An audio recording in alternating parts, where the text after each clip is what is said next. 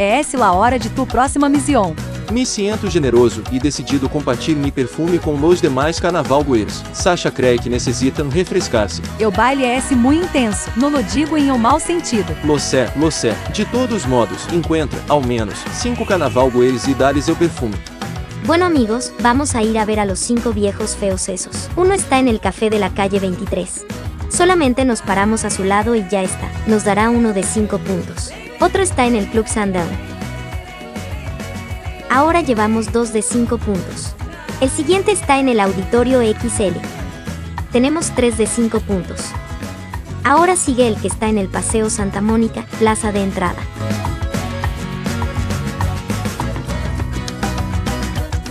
Tenemos 4 de 5 puntos. Y el último me costó mucho encontrarlo, pero finalmente lo logré y resulta que está en el centro comercial.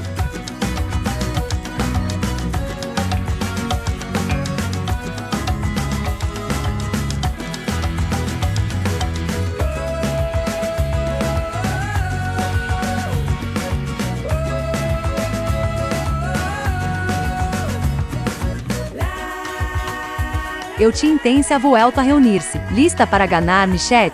Goal, te intense a ganado mais pontos de equipe. A Exule amo e o aroma deu êxito. As ganado mais carnaval coins. Siga assim. Vuelve manhã para encontrar mais missões.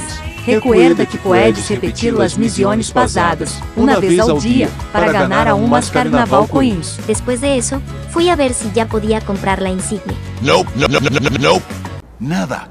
No hay. No existe. Pero leí algo que antes no había visto. Aquí dice, completa todas las misiones y vuelve durante la fiesta callejera para desbloquear esta insignia. Por lo que entiendo, esta insignia se podrá comprar hasta que hayan salido todas las misiones, pero además, debe haber una fiesta callejera que todavía no está disponible. Así que mega F. Y bueno amigos, esto es todo. Aquí les dejo imágenes de otras misiones que hice aquí mismo para ganar más monedas de carnaval. De mi parte, me despido.